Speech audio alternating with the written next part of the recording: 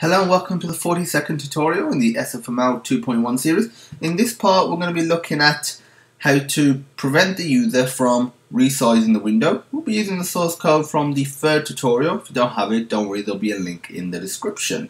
SFML allows us to prevent the user from resizing the window. This can be useful when creating a game for, for just a specific size, which I did do for my second year university project. And sometimes, maybe you want that for prototyping, or maybe you just want a specific size. That's a-okay as well. So let's just uh, open up our project. One thing to bear in mind when you do create just for a specific size, so you don't have multiple sizes or you can't resize the window, try not to make the game window big, really big. Uh, because if you want to maximize the number of players that can play your game, if you choose on something like 2560 by 1440, most people won't have a monitor that size even 1920 by 1080 is uh, not very good for most people. Something like 1280 by 720 is more in the realms of what most users are capable of running, maybe even smaller.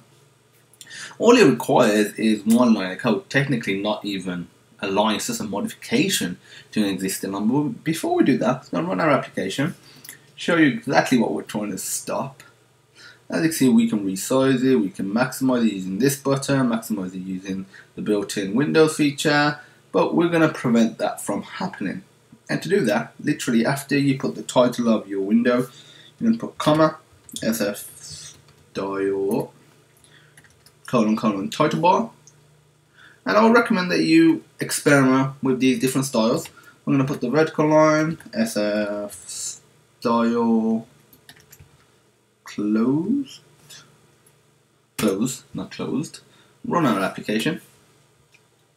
Basically what this means is we, have we have this title bar and we have a method to closing it, which is good. But we can't resize it in any capacity at all, which is exactly what we wanted and can just exit the application. That's it for preventing the window from resizing.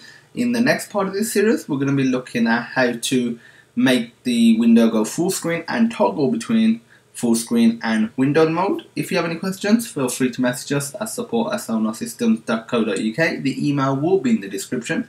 You can comment on this video or just directly message us via YouTube. All the required links for source code will also be in the description. And as usual, thanks for watching and I hope you have a wonderful day.